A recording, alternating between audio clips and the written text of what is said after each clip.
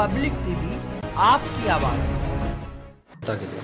देखिए जैसे आप जानते हैं कि इस बार आज़ादी का अमृत महोत्सव आज़ादी की गर्मापूर्ण पचहत्तर वर्ष पूरे हुए हैं। इसमें पूरे देश में बहुत ही हर्षोल्लास के साथ उत्साह के साथ गौरव के साथ हम इस दिवस को मना रहे हैं। इसके लिए शासन स्तर से कुछ निर्देश प्राप्त हुए हैं कुछ प्रोग्राम वहाँ से सेट होकर के आए हैं। उसी के तत्वाधान में आज हमने नगर निगम स्तर पर रैली का आयोजन किया, आज़ादी की रैली।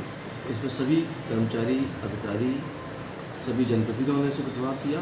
ये रैली बहुत ही उत्साह के साथ हमने रैली का आयोजन किया उसके उपरांत जो हमको तिरंगा, राष्ट्रीय ध्वज प्राप्त हुए, उनको वितरित किया जाना था। तो हमने सभी सत्तर पार्षदों को एक आयोजन के माध्यम से सत्तर पार्षदों को हमने झंडे वितरित किए।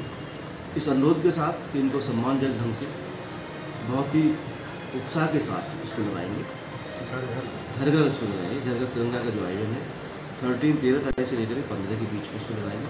जो व्यक्ति सुरक्षा से इसके बाद भी लगाना चाहेंगे तो उसको उनको स्वागत। दूसरा रक्षा सूत्र का वितरण जो हमारे फ्रीडम फाइटर्स स्वतंत्रता संग्राम सेनानी या उनके आश्रित हैं जिनका आज़ादी की लड़ाई में बहुत बड़ा योगदान रहा है उनको सम्मानित करने की दृष्टि से हमने रक्षा सूत्र एक राष्ट्रीय ध्वज और एक सम्मान पत्र उनके घर घर पहुँचाने का कार्यक्रम हमको करना है वो साथ में हम करेंगे। कल जैसा कि हम जानते हैं रक्षाबंधन का पर्व भी है। इस पर्व पे रक्षा बैंड रक्षा सूत्र भी देने का कार्यक्रम करेंगे। संदेश ये रहेगा कि प्रत्येक भारतवासी में प्रत्येक नगरवासी में देश प्रेम की भाव की जागरूक हो। वो जाने कि किस तरह से फ्रीडम फाइटर्स ने हमारे देश के लिए अपने आप को कुर्बान किया आज़ादी के लिए उन्होंने अपने आप बलिदान दिया। उनके बारे में हम बताएँ। जितने भी हमारे ऐतिहासिक स्थल हैं, जो स्वतंत्रता संग्राम से जुड़े हुए स्थल हैं, उनके बारे में भी बताया जाए यहाँ की जो आने वाली पीढ़ी है, उनको बताया जाए, उस वीर गाथा को भी बताया जाए, जिससे वो जाने कि हमने कितनी कठिनाइयों के बाद इस आज़ादी को प्राप्त किया पूरे देश में, पूरे नगर में उत्साह का माहौल है।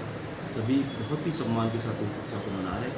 नगर निगम स्तर से पूरे शहर की सजावट लाइटिंग व्यवस्था है, तिरंगे से लगाने की व्यवस्था है, जो हमारे स्थल हैं, जो सरकारी स्थल है उन पर राष्ट्रध्वज फहराने की। स्मारकों पे लाइटिंग की व्यवस्था करनी है, पूरे शहर में बहुत अच्छी साफ़ सफ़ाई व्यवस्था करनी है। प्रत्येक नागरिक को ये संदेश देना है कि नगर निगम उनके साथ पूरी तरह से इस महान आयोजन में चुनाव पब्लिक टीवी आपकी आवाज़।